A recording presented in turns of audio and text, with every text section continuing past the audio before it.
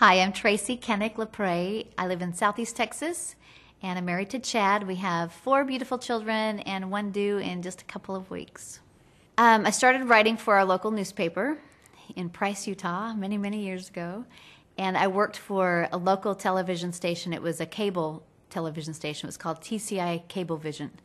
And I remember I would say, Hi, I'm Tracy Kennick for TCI Cablevision, your local information station. And I thought I was really big time. And I remember getting to Beaumont, Texas, and the first day on the air was my birthday. And I was so sad. And I went to work, and they put me on the air the first day, and I did a horrible job. Terrible job. Some lady called and said, Who is this girl? She's terrible. Get her off the air. And I cried, and I called my mom, and I said, I want to come home. This isn't where I'm supposed to be. And she said, Just stick it out.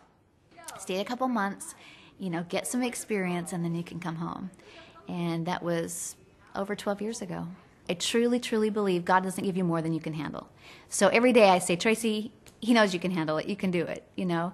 And it helps you keep things in perspective, not take yourself too seriously, not worry about what the world thinks, because you know that there's a higher power and that's what you're working toward. My family is everything. They're everything. And you know, when I first went into broadcast news, I thought I wanted to be a big time news anchor, work for Entertainment Tonight or CNN. And then I realized what was really important I started having children, and they're my life. I mean, they are who I am. And they, they teach me so much. Um, they teach you not to think about yourself so much. And you become much less selfish because you love them more than you love yourself.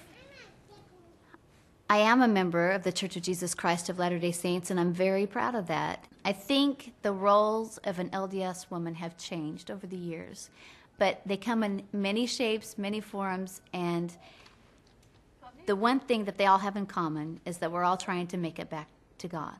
If you have a Christ like love um, in your heart and you're trying to follow the Christ like principles that we've been taught, then you're a good Mormon woman.